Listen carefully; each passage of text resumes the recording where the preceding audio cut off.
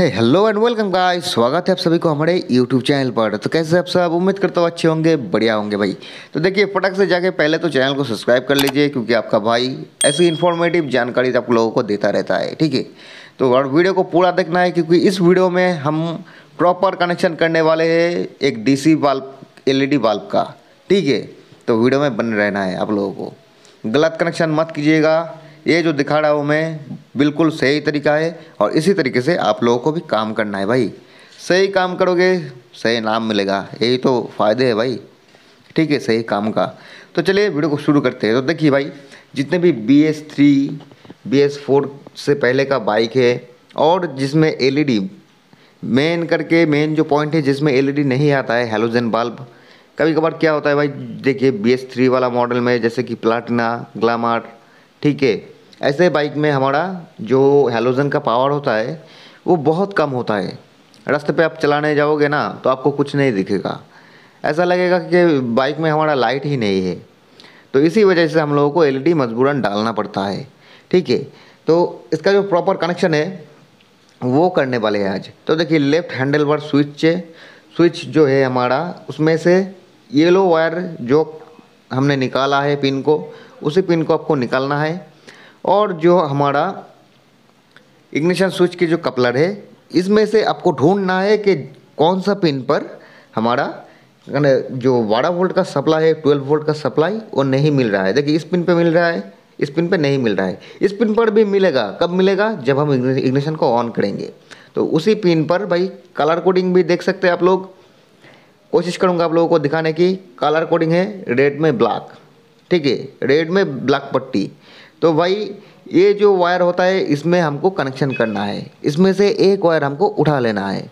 ठीक है? क्योंकि इस, यही है सही कनेक्शन ठीक है भाई? तो देखिए रेड में ब्लैक पट्टी वाले जो पिन है, उसमें हम लोग डालने वाले हैं।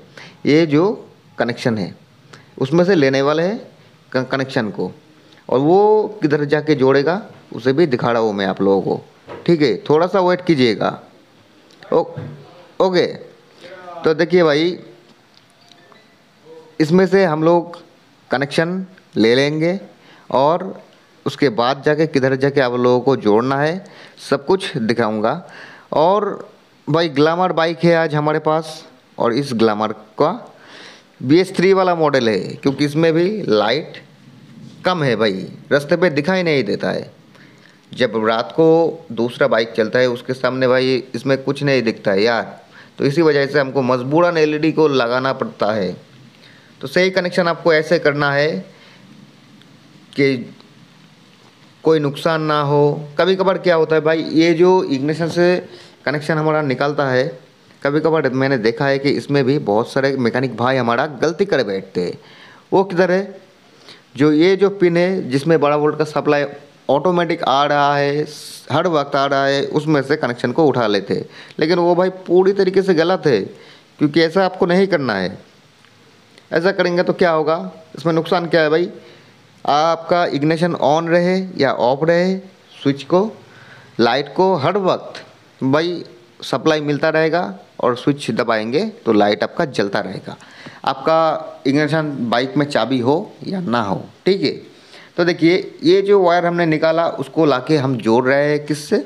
ये जो येलो वायर लेफ़्ट हैंडल वार्ड स्विच जो हमारा होता है स्विच के जो कपलर होता है, उससे जब निकाला था, जो येलो वाला वाला वायर उसमें हमको इंस्टॉल कर लेना है।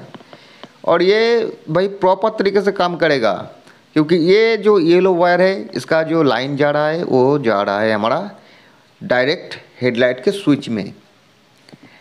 ठीक है, जो स्विच ऑन करने पे पार्किंग और हमारा जो है हेडलाइट वो मेन जो हेडलाइट है, वो जलता है। तो उसी स्विच का मेन इनपुट है ये येलो वाला वायर आप लोगों को ध्यान में रखना है, ठीक है? तो ऐसे करके आप कनेक्शन कर दीजिए।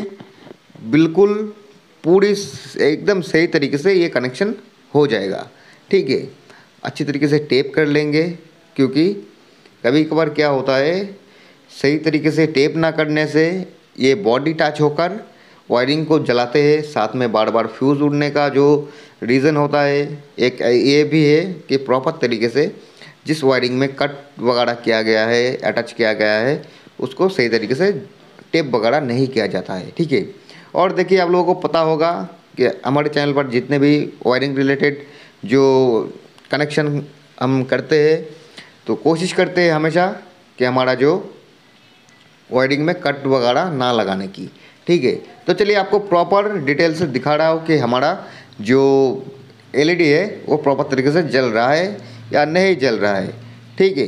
क्योंकि देखिए, ये जो कनेक्शन क्या है डायरेक्ट बैटरी से वोल्टेज हमारा आ रहा है, ठीक है? तो हर वक्त नहीं जलाना है भाई, ये भी एक ध्यान देने वाली बात है। अगर ज़्यादा जलाओगे तो बैटरी आपका बैठ जाएगा। कभी कभार क्या करता है भाई कि किसी जगह पे जाके गाड़ी हमारा खड़ा कर दिया और साथ ही में लाइट को ऑन कर दिया। बाइक स्टार्ट में नहीं है। और ये जो आपको और एक काम करना है इसके साथ साथ जो पार्किंग एलईडी है सॉरी पार्किंग जो बल्ब होता है, उसको एलईडी लगाना है। नहीं तो बैटरी आपका जल्दी डाउन होगा। ओके तो इतनी बात तो समझ में आ ही गया होगा। ठीक है भाई? तो ये बातों को भी ध्यान में रखना पड़ेगा आप लोगों को। ओके देखिए प्रॉपर तरीके से अपर टिपर भी काम कर रहा है। तो भाई इस वीडियो में इतना ही। मिलेंगे दूसरी किसी वीडियो में। तब तक सब स्वस्थ रहना, खुश रहना, अपना ख्याल रखना। हर हर Mahadev. Thanks for watching this video